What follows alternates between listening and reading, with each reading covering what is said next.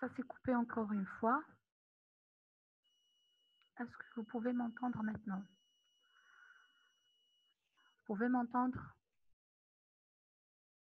C'est la connexion, oui. Une connexion catastrophique aujourd'hui. Est-ce que vous pouvez m'entendre, s'il vous plaît? Répondez-moi par oui. oui, oui madame. Pardon. Je dois admettre euh, vos collègues.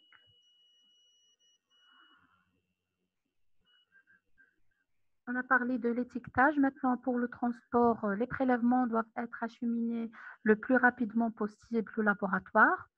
Euh, le délai maximal euh, entre le prélèvement et le début de l'analyse ne doit pas dépasser les 24 heures. Et bien sûr, lors du transport, les prélèvements doivent être conservés à une température entre plus 4 et plus 6 degrés Celsius pour stopper la multiplication bactérienne à l'abri de l'air et de la lumière. Euh, j'entame euh, le point suivant, c'est les méthodes générales d'examen bactériologique. Les trois principales techniques utilisées sont la numération après ensemencement sur une gélose nutritive,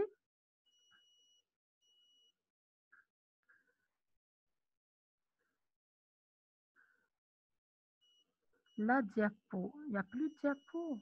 Je suis en train de partager l'écran. Hein. C'est bon, c'est bon, madame. C'est réglé. Si, je suis en train de partager l'écran. Est-ce que vous pouvez voir les diapos maintenant?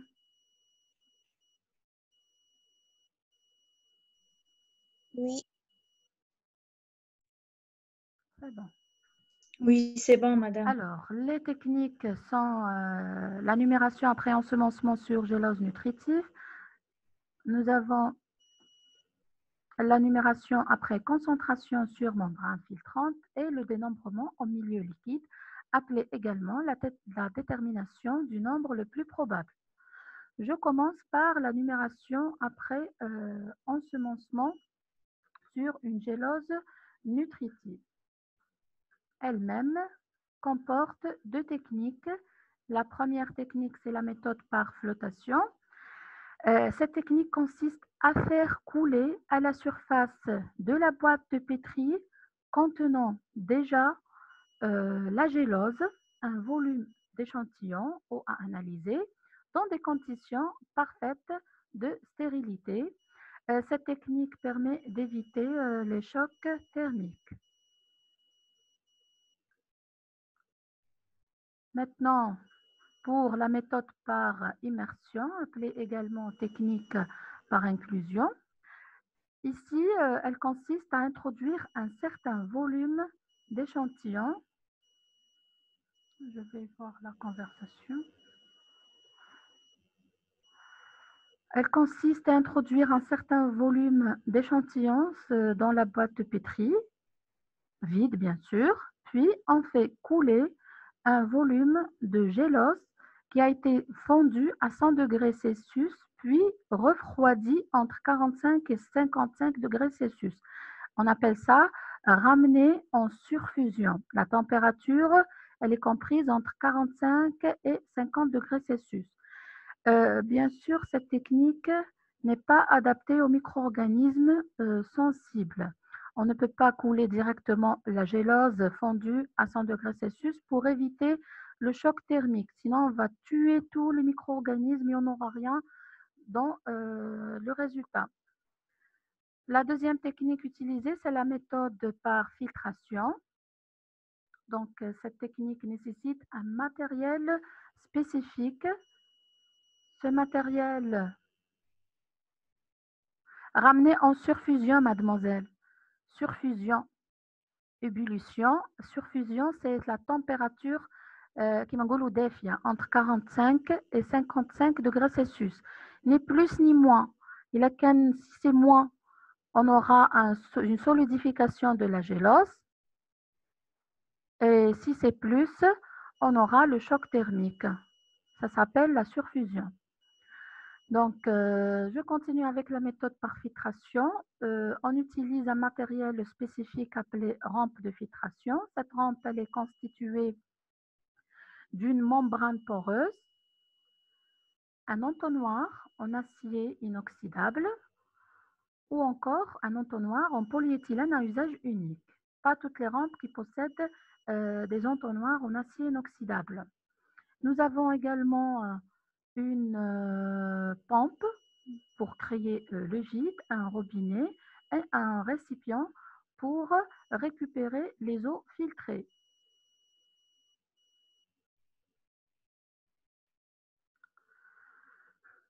Alors, pour la technique en elle-même, je vais l'expliquer en détail. Tout d'abord, il faut stériliser la membrane poreuse. La membrane, il y a des pores ici à travers lesquels euh, les eaux euh, vont passer. On stérilise également, bien sûr à l'aide de, la flamme d'un on stérilise également l'entonnoir s'il est en acier inoxydable. Et puis, on doit refroidir l'entonnoir, soit on le laisse à l'air libre jusqu'à refroidissement. On ne peut pas commencer directement la filtration, sinon il y aura un choc thermique et destruction de tous les micro-organismes. Si on est pressé, on doit le refroidir d'abord par l'eau euh, de notre échantillon. Ensuite, après refroidissement, on dépose aseptiquement un filtre de 0,45 micromètres de diamètre sur la membrane poreuse. Donc, ce filtre laisse passer l'eau et va retenir uniquement euh, les bactéries. Après, on met notre entonnoir et on introduit le volume X de l'eau à analyser. Ce volume diffère selon l'origine de l'eau. Généralement, pour l'eau courante, l'eau de robinet, c'est 100 ml. Pour une eau minérale, c'est 250 ml. Donc, plus l'eau est entre parenthèses stérile, plus le volume doit augmenter et vice-versa. Donc, pour les eaux de mer, on a juste un volume de 50 ml. Et pour la recherche des salmonelles, par exemple, on doit filtrer jusqu'à 5 litres. Après, euh, pardon. On, le, on remet euh, le couvercle pour certaines rampes et on déclenche euh, le vide. On ouvre le robinet. L'eau va traverser le filtre et le filtre par la suite est récupéré aseptiquement et on va le placer sur une boîte contenant la gélose, ça s'appelle la plaque de gélose, et un milieu X on va incuber cette boîte couvercle en bas pendant une certaine durée à une température bien déterminée qui varie selon les micro-organismes. La dernière technique, c'est le nombre le plus probable. C'est une technique basée euh, sur une estimation par calcul statistique du nombre le plus probable.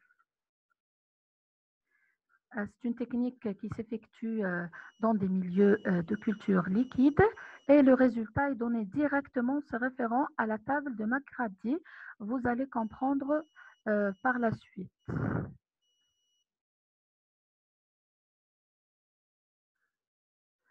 Mademoiselle, donc, plus elle, va, elle vous a répondu, plus l'eau est propre, plus l'eau est désinfectée, la probabilité de retrouver des micro-organismes est faible, plus le volume augmente.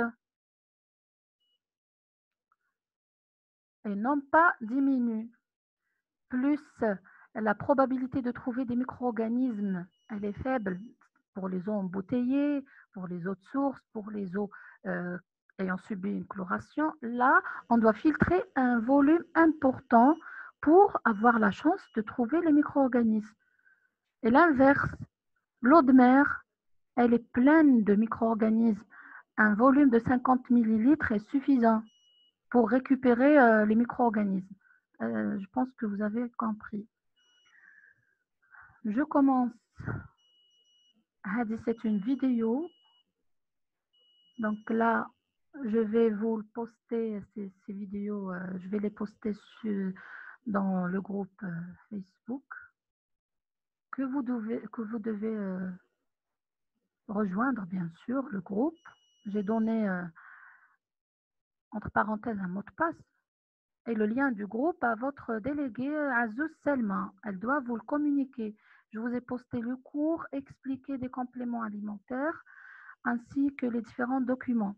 Je vais vous poster encore des vidéos et des trucs euh, supplémentaires et répondre à vos questions, bien sûr, concernant ma partie.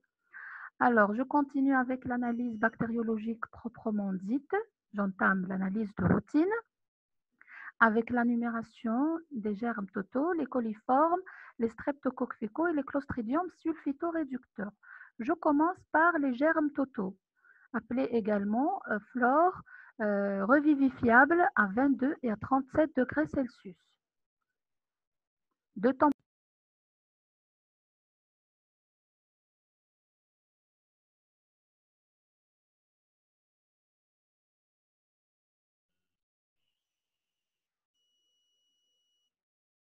C'est bon? C'est la connexion. Est-ce que vous pouvez m'entendre maintenant? Je reprends s'il vous plaît ou pas encore? D'accord.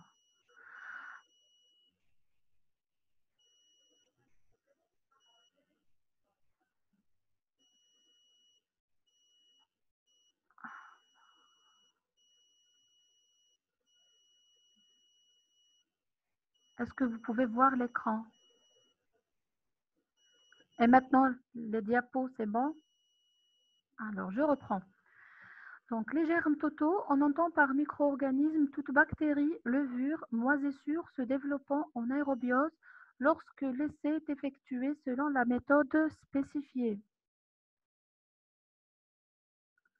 La méthode est la suivante.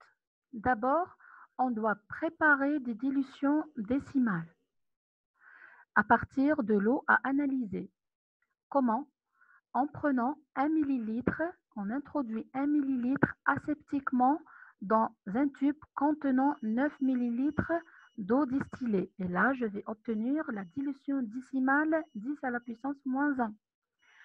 Puis, pour préparer la 10-2, je dois euh, prendre aseptiquement 1 ml de la dilution, du tube de la dilution 10-1 que je dois introduire dans un tube contenant 9 ml d'eau distillée et j'obtiens la dilution 10-2 et ainsi de suite.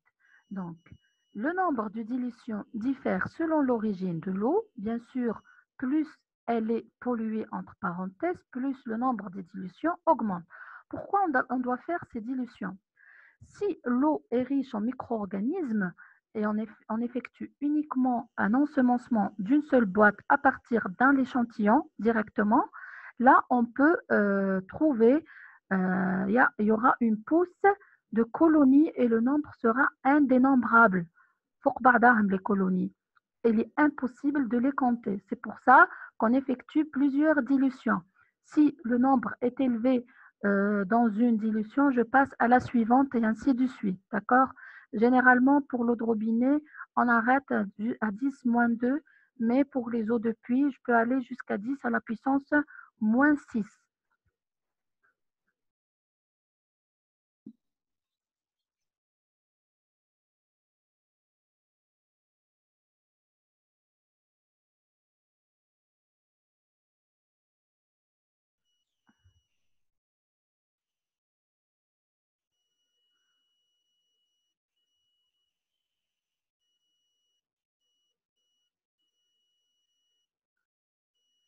C'est bon?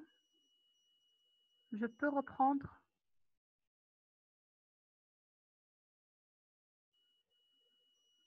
Est-ce que vous pouvez m'entendre et vous pouvez voir la diapo s'il vous plaît? Est-ce que vous pouvez m'entendre? Oui, on vous entend. Oui, c'est bon, madame. je reprends. Donc, ça, la connexion, c'est chaque 10 minutes, elle se coupe. Alors là, c'est bon. Une fois euh, les dilutions euh, je commence la manipulation. Donc là, j'aurai besoin de deux séries de boîtes de pétri. Deux séries pour un seul échantillon. Pourquoi? Parce que j'ai deux températures d'incubation. La température 22 degrés Celsius et la fleur à 22 et la fleur à 37 degrés. Donc, je vais travailler en double. Donc là, je vais inoculer, je vais introduire aseptiquement 1 millilitre à partir de l'échantillon et ou des illustrations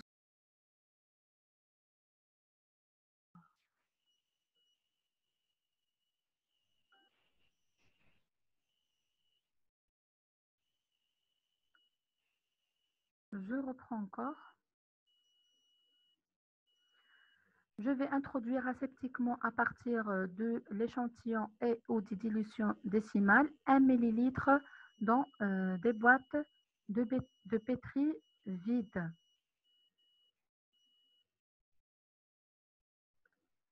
Par la suite, je dois ensemencer des boîtes témoins pour vérifier la qualité du milieu et la qualité du diluant témoin milieu, TD, c'est témoin diluant. Diluant, c'est l'eau distillée stérile à partir de laquelle j'ai préparé mes dilutions. Parfois, la gélose, elle est contaminée par des moisissures. Donc, pour que l'interprétation euh, soit correcte, je dois ensemencer des boîtes de pétri contenant uniquement la gélose, pas d'échantillon,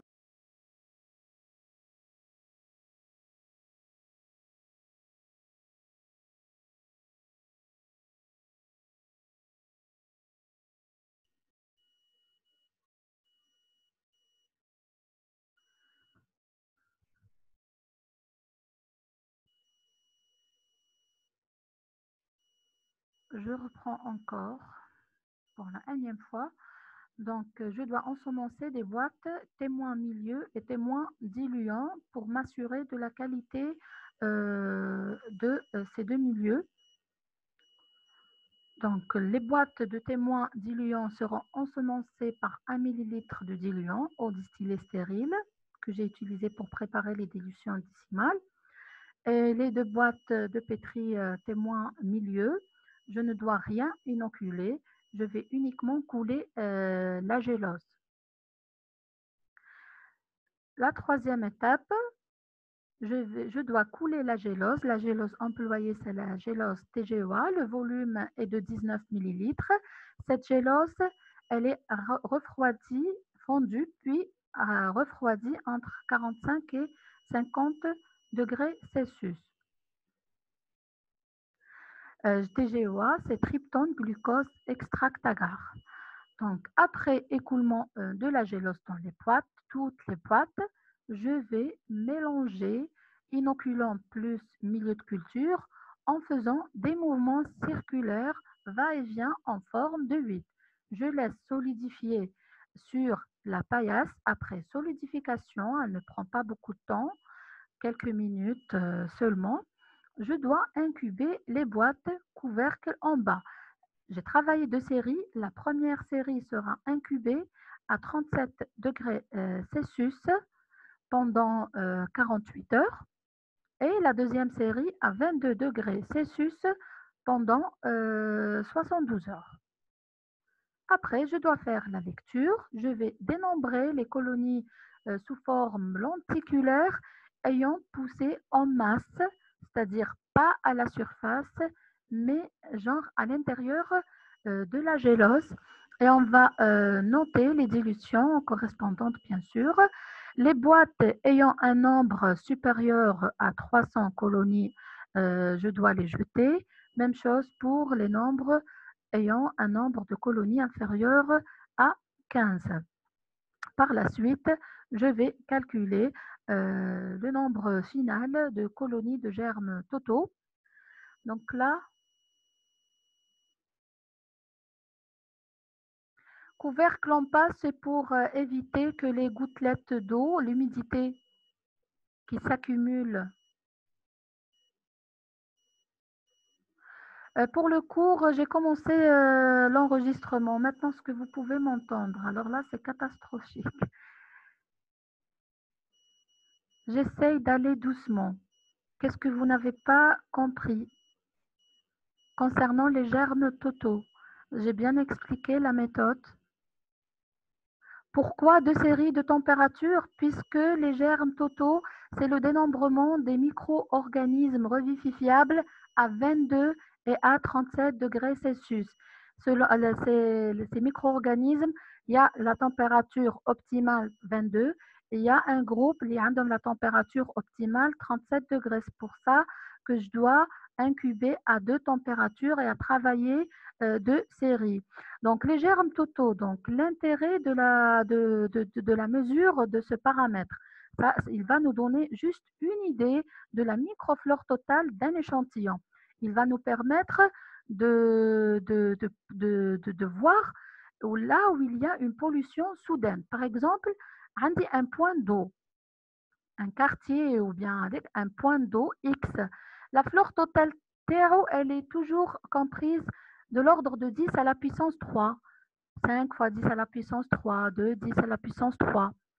Maintenant, si un jour je fais le, le même paramètre pour le point, pour le même point d'eau, et je trouve une flore de l'ordre de 10 à la puissance 9, 10 à la puissance 10, là, il y a un, problème. Je dois rechercher soit une inefficacité d'un traitement de potabilisation ou bien je dois rechercher une pollution soudaine de mon point d'eau.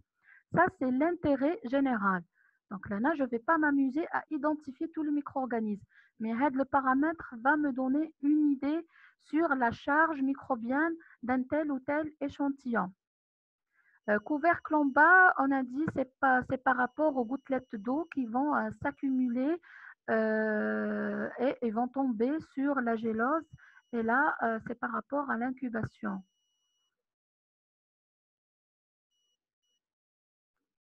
C'est pour éviter l'humidité dans la boîte elle-même.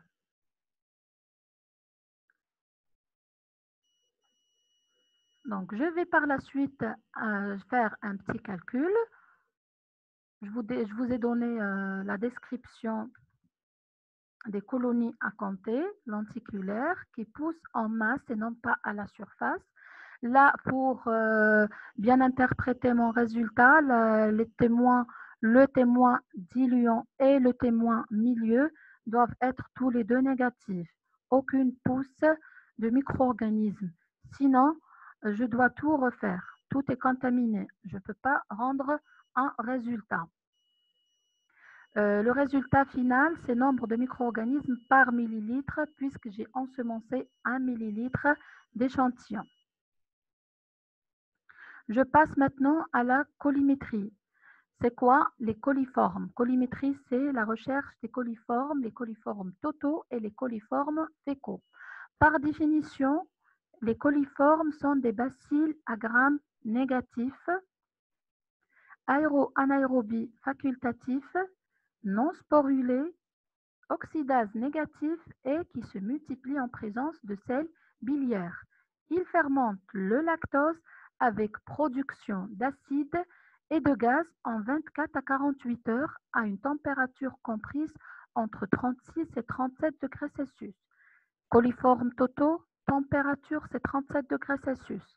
Maintenant, pour les coliformes thermotolérants, ils ont les mêmes propriétés que les coliformes, mais ils, ils ont la caractéristique de pouvoir se multiplier à 44 degrés Celsius.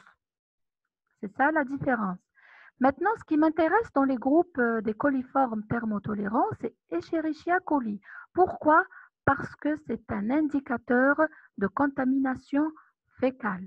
Escherichia coli est un hôte du tube digestif de l'homme et des animaux à son chaud. Elle, est, euh, elle se trouve, euh, elle est très abondante, facile à rechercher. Donc, je dois toujours rechercher Escherichia coli dans les eaux. Si elle est présente, je peux confirmer qu'il y a une contamination fécale. Donc, Escherichia coli, ce sont des coliformes thermotolérants, c'est-à-dire ayant les mêmes propriétés des coliformes et la multiplication à 44 degrés Celsius, mais elle a la particularité de produire de l'indole. Elle est indole positive à partir du tryptophane présent dans le milieu, toujours à 44 degrés Celsius. Après ces définitions, je vais passer à la méthodologie. Comment dénombrer les coliformes? J'utilise la technique en milieu liquide ou bien par filtration. Je commence par la méthode en milieu liquide, appelée également méthode au nombre le plus probable. Cette méthode, elle se fait en deux étapes consécutives. La première étape, elle s'appelle test de présomption, réservé pour les coliformes. À la fin de cette étape, j'obtiens le nombre de coliformes dans mon échantillon. La deuxième étape, ça s'appelle test de confirmation. c'est pour les coliformes thermotolérants et spécifiquement pour Escherichia coli.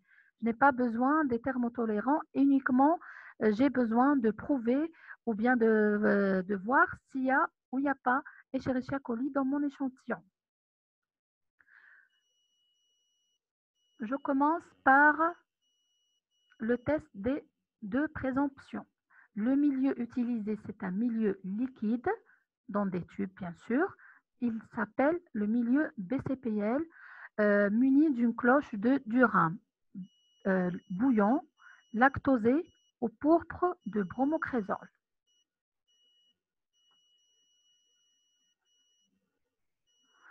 Alors, bien sûr, comme le polycopier, l'explication ici sur les diapos, c'est l'exemple concret. C'est comme si vous êtes au laboratoire pour bien comprendre. Donc, la technique euh, est la suivante. J'ai besoin tout d'abord d'un flacon euh, et des tubes munis euh, du milieu de culture liquide. La technique est la suivante pour le test de présomption. Je dois ensemencer, prendre aseptiquement, aseptiquement à partir de l'eau à analyser à partir de l'échantillon. Pas de dilution pour l'échantillon. Je prends aseptiquement 50 ml dans un flacon contenant 50 ml de milieu BCPL doublement concentré muni d'une cloche de Durham. Le milieu doublement concentré, c'est par rapport à sa richesse en nutriments. La cloche de Durham, c'est pour vérifier le dégagement de gaz ou pas après incubation. Je porte aseptiquement aussi 10 ml d'eau à analyser dans 5 tubes contenant 10 ml de milieu BCPL doublement concentré. Et j'amène aussi, j'introduis aussi aseptiquement 1 ml à partir de l'échantillon dans chaque euh, tube contenant 10 ml de milieu BCPL simplement concentré. Je vais incuber le tout euh, à 37 degrés Celsius pendant 24 à 48 heures. Après 24 heures, je dois faire une première lecture. S'il n'y a pas virage ou euh, rien n'a changé, je dois laisser euh, jusqu'à 48 heures pour pouvoir interpréter l'interprétation finale. Pour la lecture, seront considérés comme coliformes totaux les tubes et ou euh, le flacon ayant présenté à la fois je dis bien à la fois un trouble microbien, le milieu trouble, témoin d'une multiplication bactérienne, un dégagement de gaz dans la cloche de Durham, un dégagement qui doit être supérieur au 1 dixième de la hauteur de la cloche, et un virage du milieu vers le jaune, témoin d'une acidification. D'accord? Les trois conditions. Voici un exemple concret. Voici mon test de présomption. Et après incubation, mon flacon de 50 ml a présenté les trois conditions. Je note positif et je note 1. Un flacon 1. Parmi euh, la série des 5 tubes euh, double concentrés, j'en ai uniquement 3 ayant présenté les trois conditions ensemble je note 3. Et pour la troisième série de tubes 5,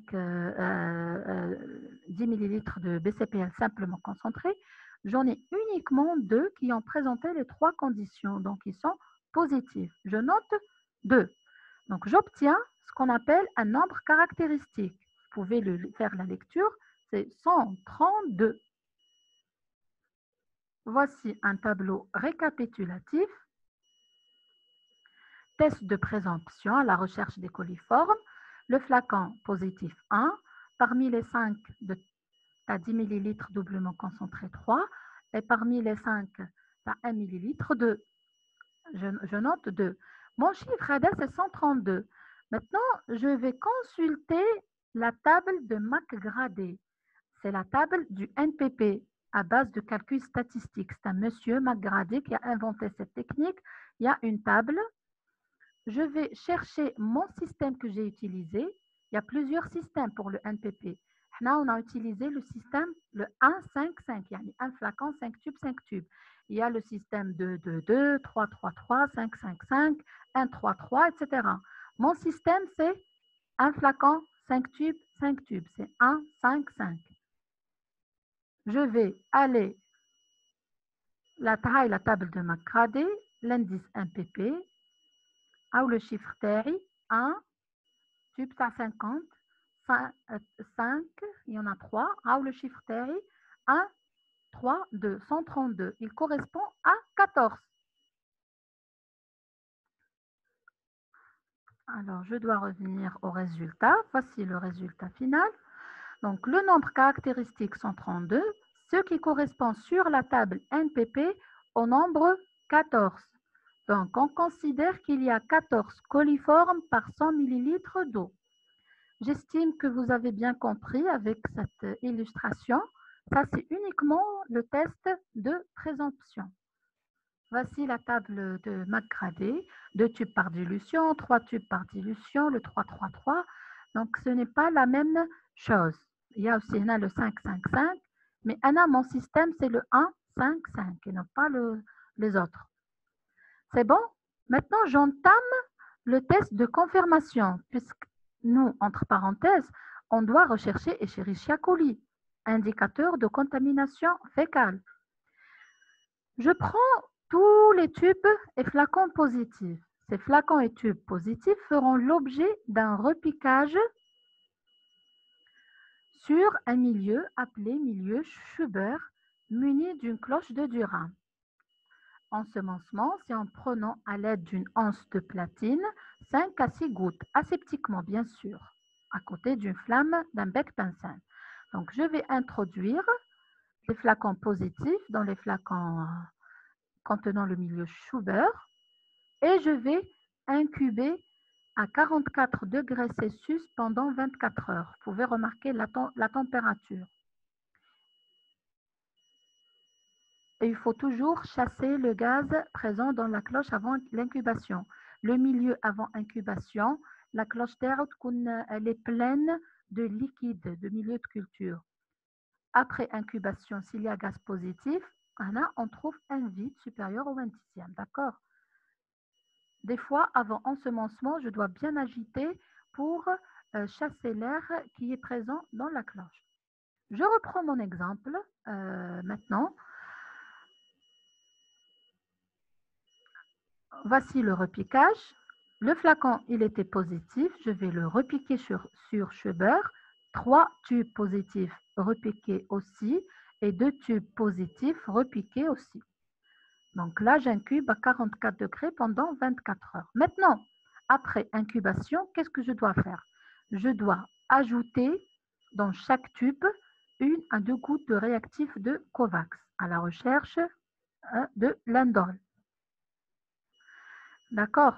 Donc, seront considérés comme euh, positifs les tubes présentant bien sûr un trouble du milieu Schubert, témoin d'une multiplication bactérienne, un dégagement de gaz dans la cloche supérieure au 1 dixième du volume de la cloche de Durham, et aussi un anneau rouge à la surface après addition d'une à deux gouttes euh, de réactif de Cofax. Ça, c'est pour conclure qu'il existe Escherichia coli dans mon échantillon.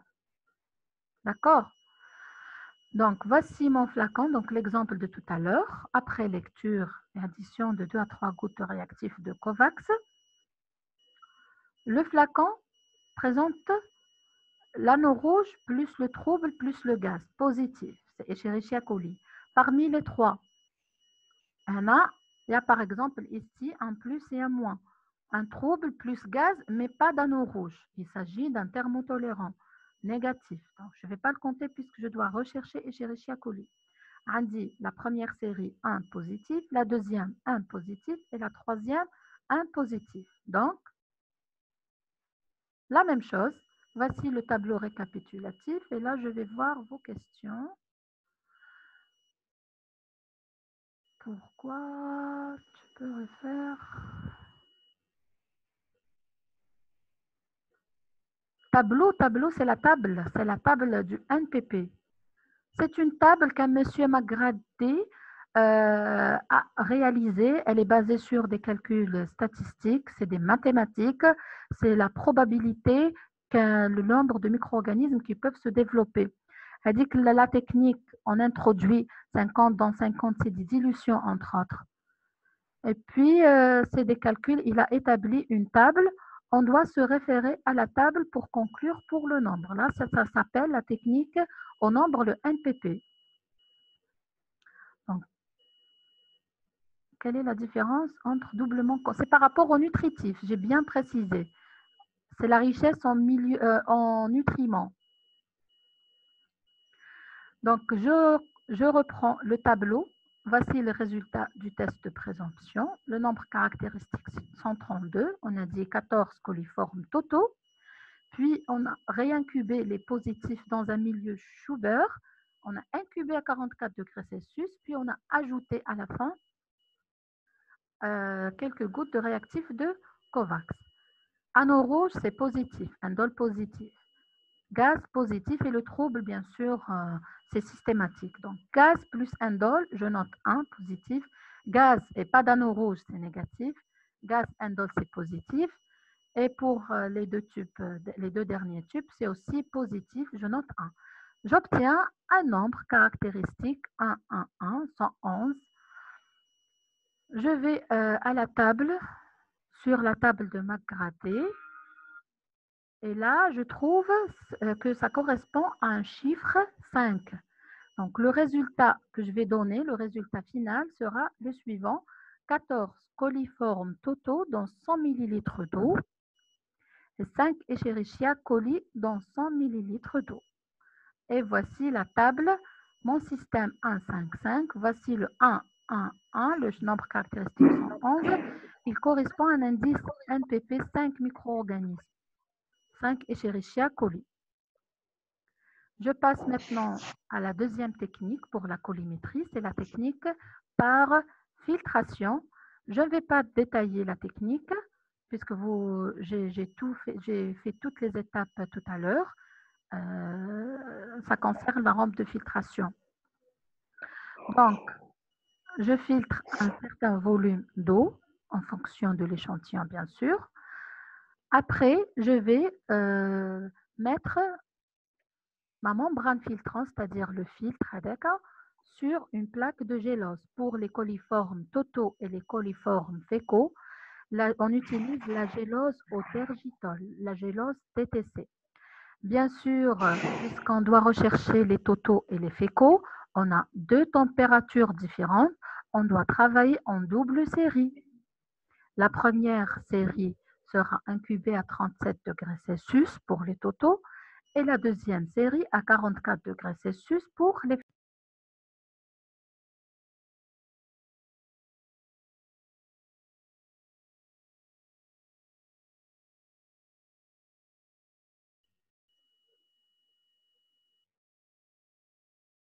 Je reprends la connexion toujours.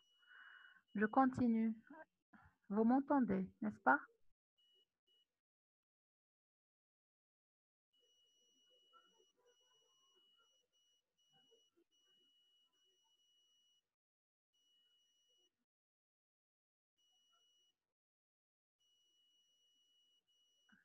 Est-ce que vous pouvez euh, tout voir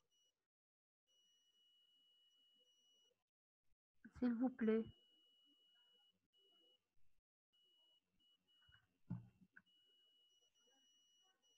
Alors, je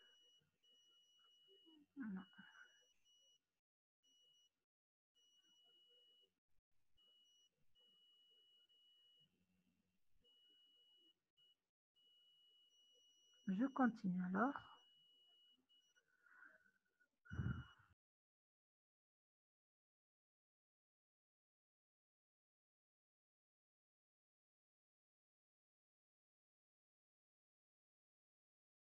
Je continue, donc je continue, problème de connexion. Euh, à la fin de l'incubation, je vais dénombrer les colonies, les colonies caractéristiques des coliformes. Les colonies caractéristiques des coliformes sont des colonies jaunes ou bien jaunes orangées. Voici euh, l'aspect réel des colonies sur le filtre après incubation sur milieu tergitol. C'est des colonies jaunâtres. Donc là, je vais dénombrer les colonies lisses légèrement bombées à contours réguliers pigmentés en jaune, euh, orangé ou bien en jaune, qui sont lactose positifs. Là, pour je dois euh, confirmer par un examen et un repiquage des colonies pour confirmation. Je dois faire une coloration de grammes positifs, plus un examen microscopique. Je dois trouver des bacilles à grammes négatifs. Je recherche l'oxydase qui doit être négatif. Là, c'est comme pour la bactériologie médicale. L'identification des micro-organismes, c'est la même chose, juste les techniques qui sont différentes. Euh, pour euh, la recherche des Escherichia coli, à partir euh, des milieux incubés à 44 degrés, les colonies suspectes seront repiquées sur milieu confirmatif.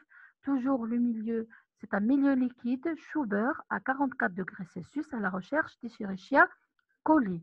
Donc, si après incubation, il y aura une pousse bactérienne plus un dégagement de gaz supérieur au 20 dixième de la hauteur de la cloche de Durham, plus formation d'un anneau rouge après addition de réactifs de COVAX, là, je vais conclure qu'il s'agit d'Escherichia coli. Je fais aussi un repiquage sur TSI, une identification par le test INVIC pour les autres coliformes. Et voici donc les caractéristiques euh, biochimiques de certaines bactéries, Escherichia coli, euh, Klebsiella, Enterobacter, Citrobacter, etc. Et si je trouve Klebsiella, donc on a dit que Klebsiella accompagne presque toujours Salmonella. Si je trouve Klebsiella, il, il vaut mieux rechercher les salmonelles. Ça, c'est pour vous un petit rappel sur comment on fait euh, un TSI à la recherche des coliformes fécaux. Maintenant, je passe aux streptocoques fécaux. Je commence toujours par une petite définition du groupe. Les streptocoques sont des cocci à grammes positifs en forme de chaînette. Ils sont catalase négatifs et se multiplient en 24 à 48 heures à 37 degrés Celsius sur un milieu sélectif à l'azoture de sodium. Euh, les streptocoques fécaux font partie des groupes de streptocoques, appelés également entérocoques, streptocoques fécaux ou bien streptocoques du groupe D selon la classification de Lansweig. Ils ont les mêmes propriétés que les streptocoques. En plus, ils ont la propriété d'hydrolyser l'esculine en deux heures de temps à 44 degrés Celsius après repiquage sur milieu BOA, bilesculine agar.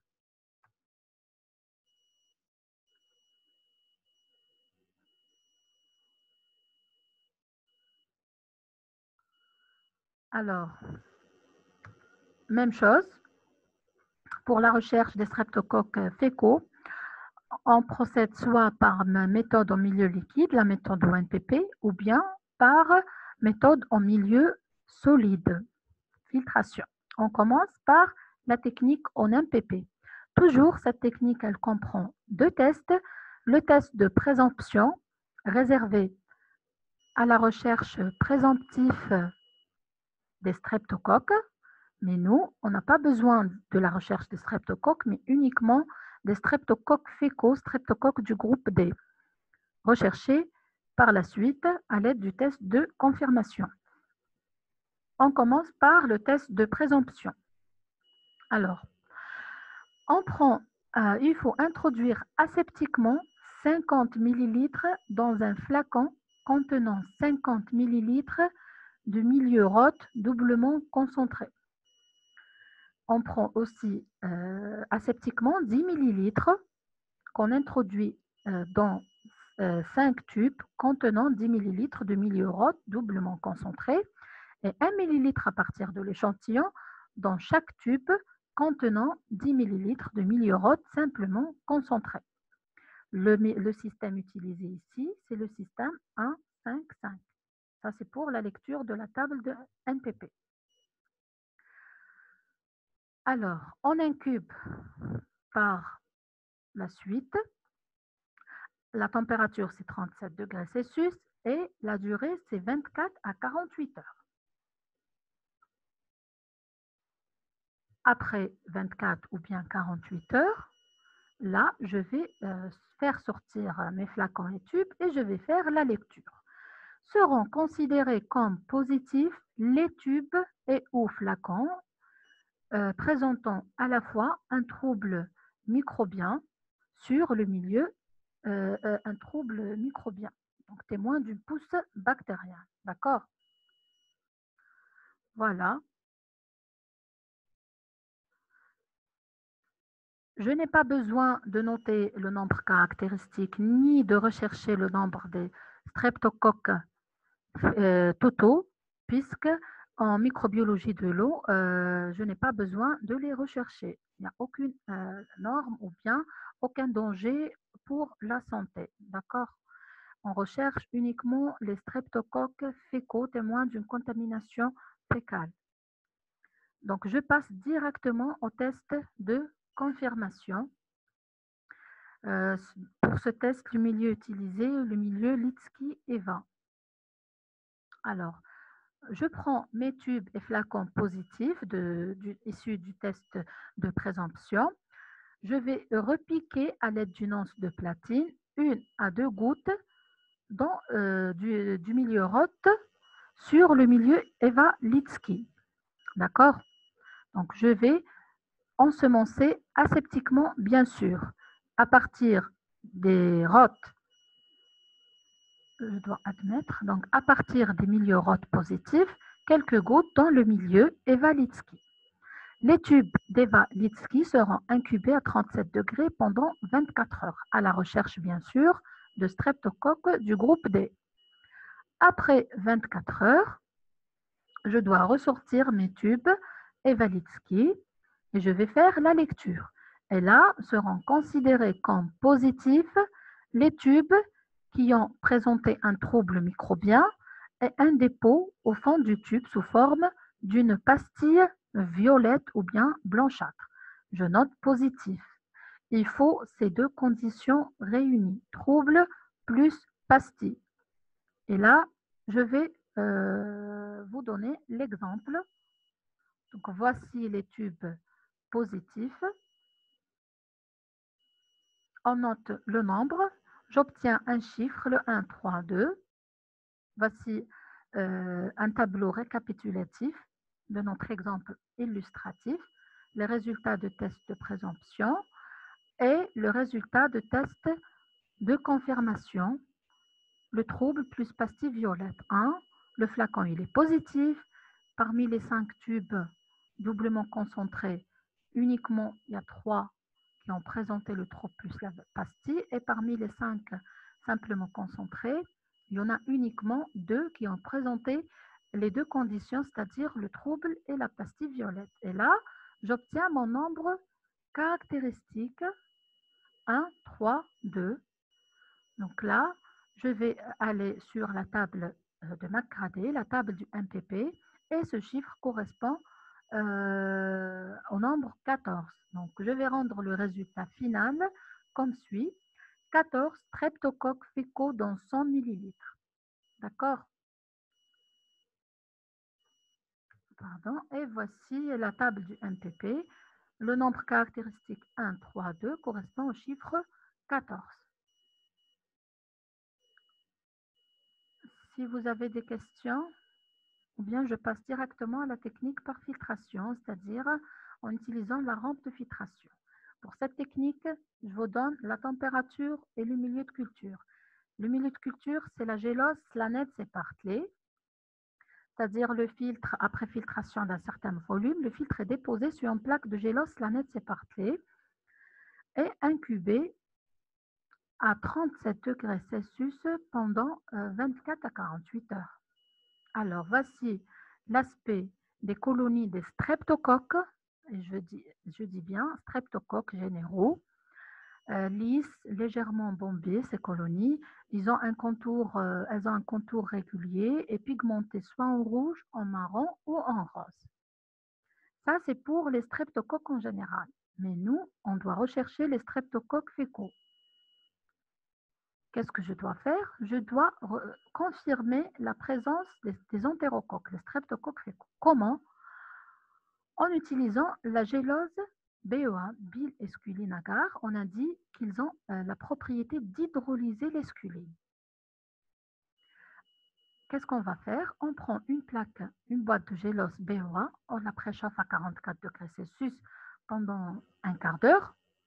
Puis, je vais transférer la membrane de milieu slanet séparé, donc ce milieu-là, euh, cette membrane-là, elle contient déjà les colonies roses ou bien marron des streptocoques. Je vais transmettre aseptiquement cette membrane sur la plaque de gélose BOA. Et là, je vais incuber la boîte de BOA à 44 degrés Celsius pendant deux heures. Ce n'est pas 24 heures, c'est deux heures de temps uniquement. Il y aura hydrolyse de l'esculine s'il y a bien sûr des colonies de streptocoques fécaux. Maintenant, je vais dénombrer uniquement les colonies noires. Ce sont des colonies de streptocoques du groupe D et là, je vais donner le nombre de colonies par rapport, euh, par rapport au volume d'échantillons euh, euh, filtrés. 100 ml, 200 ml, 250, etc. C'est bon, j'ai terminé avec les streptocoques du groupe D. Maintenant, je passe à la recherche des anaérobies sulfito-réducteurs qui sont des bacilles à grains positifs qui se multiplient à 37 degrés en 24 à 48 heures en gélose profonde de type TSC ou TSN ou encore viande de foie et vont donner des colonies caractéristiques blanches entourées d'une auréole noire. Donc, les spores d'anaérobie sulfito-réducteur témoignent d'une contamination très ancienne de l'eau puisque la forme sporulée, c'est une forme de résistance, elle vient après la forme végétative de la bactérie. Si je trouve les spores d'ACR, contamination fécale plus contamination ancienne. Ça, c'est la conclusion. Maintenant, pour euh, les étapes, pour l'analyse, on doit tout d'abord euh, procéder à un chauffage de l'eau à analyser, environ 25 ml pendant 15 minutes. le degré, c'est 75 degrés Celsius. Pourquoi? À votre avis, pourquoi on doit faire le chauffage? C'est pour tuer les formes végétatives, pour éliminer les formes végétatives existantes dans l'échantillon, puisque nous, on doit rechercher uniquement les formes sporulées. Après chauffage, je dois refroidir immédiatement, puis je vais répartir euh, le contenu de mon tube en quatre tubes stériles, sur quatre tubes stériles, à raison de 5 ml par tube. On a dit que ce sont des bactéries anaérobies. Alors maintenant, je vais préparer ma gélose. Généralement, on utilise la gélose viande-foie. Comment la préparer Bien sûr, on doit la faire fondre, bien sûr, dans un bain-marie, dans de l'eau bouillante à 100 degrés Celsius. On la laisse refroidir à température de 45 degrés Celsius. Puis, on doit additionner des additifs qui sont le sulfite de sodium et la laine de fer. On ne doit pas employer la gélose viande foie directement. On doit toujours additionner 1 ml de sulfite de sodium et quelques gouttes d'haleine de fer. C'est bon, j'ai préparé ma gélose, j'ai mes tubes. Maintenant, je vais introduire une quantité de l'ordre de 18 à 20 ml de gélose euh, par viande foie dans chaque tube. Je vais refermer le tube. Je vais euh, mélanger inoculant plus gélose en faisant un retournement tout en évitant l'introduction de bulles d'air. Il faut faire doucement puisqu'il s'agit euh, de bactéries anaérobies strictes. C'est bon, j'ai fait euh, le, retournement. Donc, j'aime bien mélanger inoculant plus gélose. J'ai bien réparti mon inoculant. Maintenant, je laisse solidifier sur paillasse, puis je vais incuber mes tubes à 37 euh, degrés Celsius jusqu'à 44 degrés Celsius. Euh, la durée, c'est 24 à 48 heures. Mais la première lecture doit se faire impérativement après 16 heures. Pourquoi? Parce que les colonies, euh, les spores des ASR sont envahissantes. Si l'échantillon contient une quantité importante de spores, là, il y aura un envahissement. Si euh, je laisse 24 heures par exemple, je vais voir le tube, je, trouve tout le tube qui est devenu noir. Je ne peux pas compter les colonies, malgré que ce phénomène arrive toujours et au niveau de l'Institut Pasteur, ils considèrent qu'il s'agit de 30 colonies. Donc, ils rendent le résultat 30 colonies par tube. Si la moitié est, noire, euh, ils rendent 15. Mais normalement, non, on fait la lecture à partir de 16 heures pour pouvoir compter les colonies. Les colonies, je répète, elles sont blanches, entourées d'une auréole noire. Mais à l'œil nu, on trouve uniquement des points noirs. Il faut faire attention. Je vais voir euh, s'il y a une question. Le temps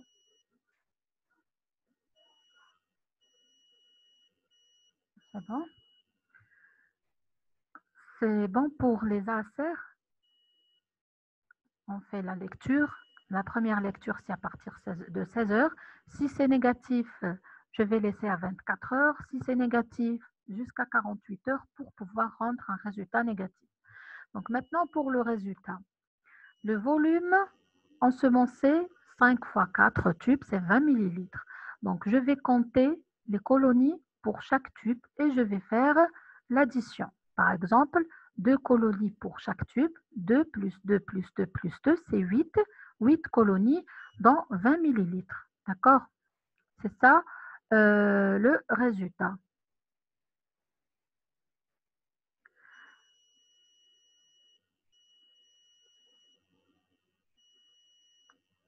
Voici maintenant un tableau euh, important vous ne l'avez pas sur votre support de cours, je vais vous le mettre euh, par la suite.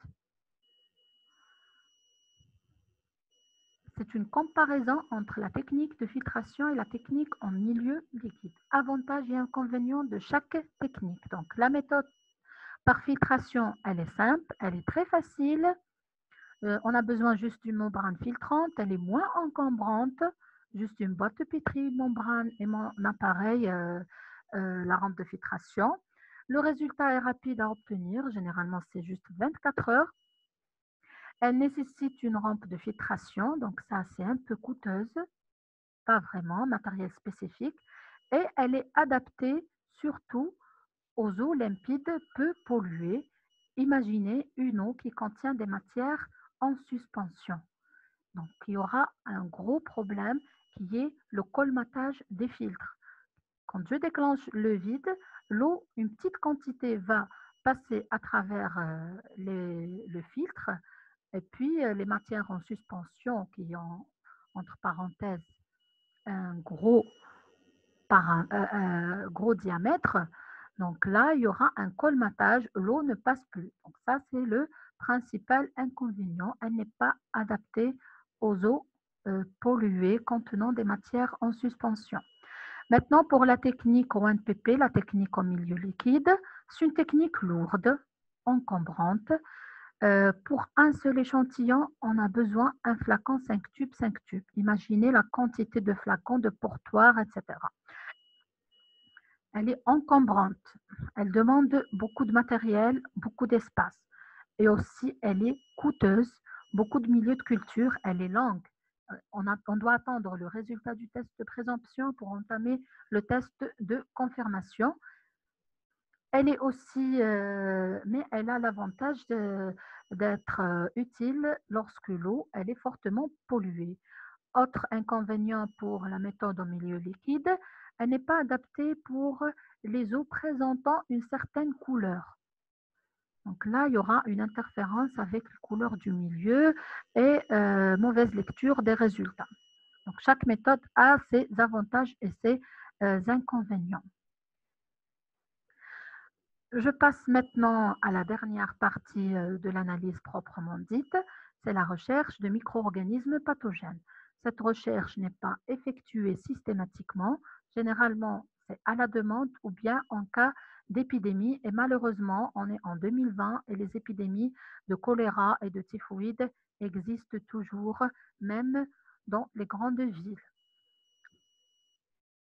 Alors,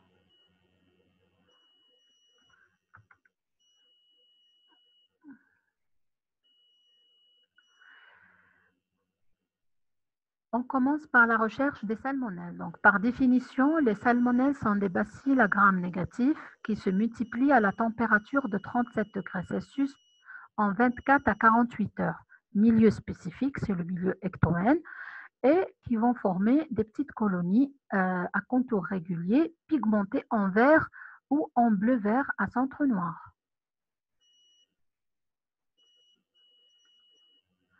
Maintenant, pour la technique, on a dit que pour euh, les salmonelles ou bien les pathogènes en général, ils se trouvent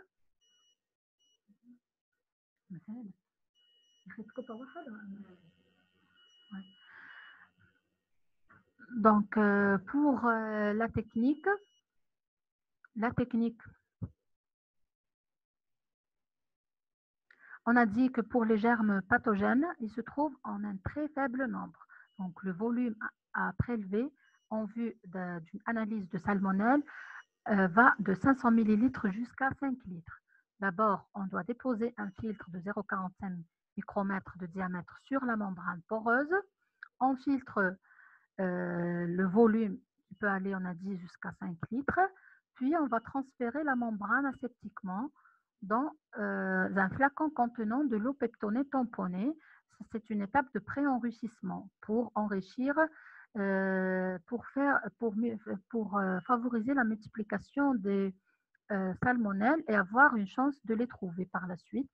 Donc, on mélange le filtre dans le milieu, pré-enrichissement, on incube à 37 degrés pendant 24 heures. Normalement, après, on aura un virage on n'obtient pas un virage du milieu vers le rouge brique, j'incube encore pendant 24 heures avant de rendre le résultat négatif.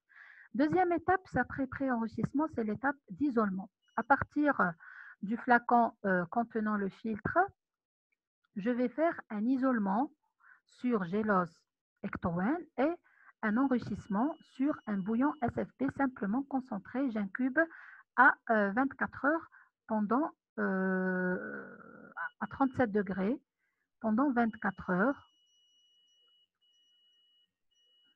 Voici l'isolement, pardon, comment on fait un isolement sur une boîte de pétri?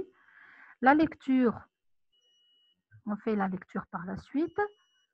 La lecture de la boîte ensemencée. Et en parallèle, on fait un deuxième isolement à partir du tube SFB simplement concentré. Un isolement, c'est-à-dire euh, on prend une goutte à l'aide d'une de platine qu'on euh, étalera sur une plaque de gélose ectoène. On incube toujours à 37 degrés. Le troisième jour, on va faire la lecture de la deuxième boîte. Euh, je recherche les colonies ayant un contour régulier, une couleur du milieu, une couleur verte avec un centre noir. Puis on passe à l'identification comme pour la bactériologie médicale, on a juste une idée. On fait un TSI, euh, on recherche l'H2S, le gaz. Normalement, vous avez un tableau des caractéristiques des différents sérotypes de salmonelle. On fait aussi une mini-galerie biochimique.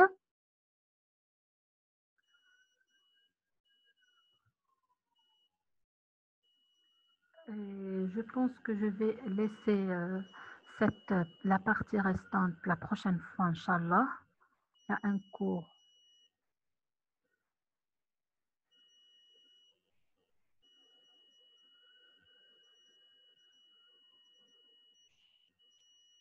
Personne n'a une question, s'il vous plaît. Mercredi, Inch'Allah, je vais continuer la petite partie euh, qui reste.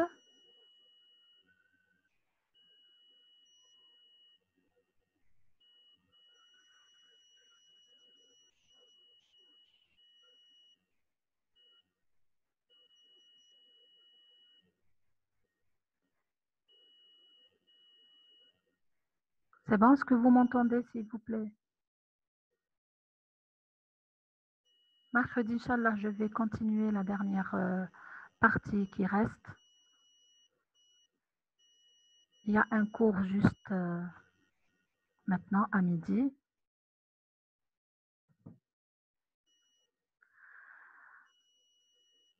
Donc, euh, juste le vibrion colérique et le staff doré et une partie concernant l'interprétation de l'analyse. Je répète, euh, j'ai envoyé à mademoiselle Azouz le lien du groupe que j'ai créé. Et il faut le rejoindre, il faut contacter votre collègue pour qu'elle vous donne le lien plus le mot de passe. Et là, je vais Est-ce qu'on doit apprendre les étapes des techniques de recherche? Alors, vous devez apprendre ce qui est écrit sur le polycope. Les caractéristiques biochimiques ne sont pas à apprendre pour les bactéries. Au contraire, vous devez apprendre comment on fait une recherche, mais les détails, puisque c'est simple, un test de présomption, de confirmation, euh, les milieux de culture utilisés, c'est très important, mais les caractéristiques biochimiques, là, euh, les caractéristiques biochimiques, normalement, c'est acquis, euh, c'est pas la peine de les apprendre, enfin, citrate, etc., les caractéristiques biochimiques. Mais pour les techniques, il faut quand même savoir le prélèvement surtout, le volume du prélèvement et euh, les milieux de culture utilisés. La technique, elle est simple. Il faut juste euh, revoir le polycopier. C'est la même chose. C'est la même chose, uniquement les milieux de culture qui diffèrent. Est-ce que vous avez encore une autre question? Les maladies, donc euh, il faut avoir une idée vous n'êtes pas des médecins pour euh, apprendre les symptomatologies, mais euh, il faut avoir quand même une idée qu'il y a des maladies d'origine bactérienne, virale et parasitaire, les principales maladies, a un mécanisme d'action, mais tout ce qui est tableau symptomatique en détail, euh, normalement, c'est de la culture générale. Le mode de transmission,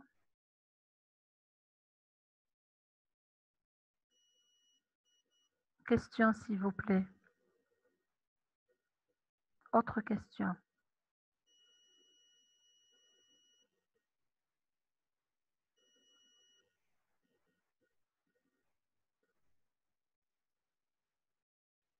Alors, euh, à mercredi, Inch'Allah, on continuera. Je vais continuer euh, cette partie restante et entamer euh, le cours haut dans les établissements de santé en espérant que la connexion euh, ne soit un peu accélérée. Merci.